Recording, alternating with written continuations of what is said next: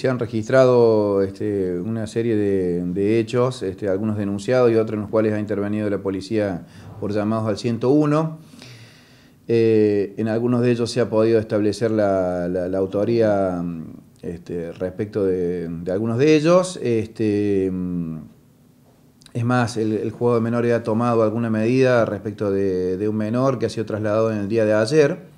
Y con relación al, al, número, este, yo generalmente voy monitoreando la, cantidad de, de, denuncias y actuaciones por hechos contra la propiedad, que es abarcativa de todo, ¿no? desde el ingreso a un comercio o a una vivienda, hasta de eh, una persona que, que denuncia que que dejó un celular en el cajero automático y se lo sustrajeron, o a quienes robaron un celular eh, mientras estaba en el danzante, eh, hurtos de bicicleta, hurtos de moto, etc. Y este, en general el, número ronda entre los 28 y 33 este, aproximado, le digo, ¿no? Este, eh, denuncias mensuales, pero abarcando todo esto, le digo, donde los hurtos eh, representan un 70% más o menos del, del total. ¿Se cree que estos hechos son propiedad de los mismos autores?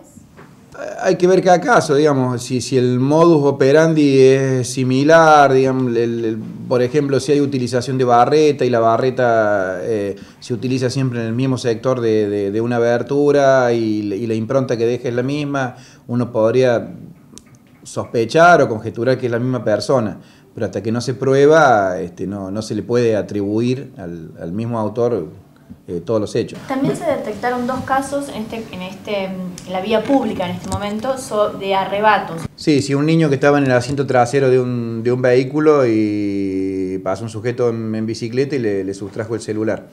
Este, sí, eh, lo está investigando el personal policial con, con directivas nuestras y bueno, tratando de, dar con la identidad de esta persona que generalmente eh, en estos hechos el, obstáculo que se le plantea a uno es que se refiere, por ejemplo, en el caso de la sustracción celular, que era una persona que estaba eh, con vestimenta oscura y que circulaba en una bicicleta. Este, a veces, a lo mejor por las características de la bicicleta, podemos llegar a establecer un posible autor.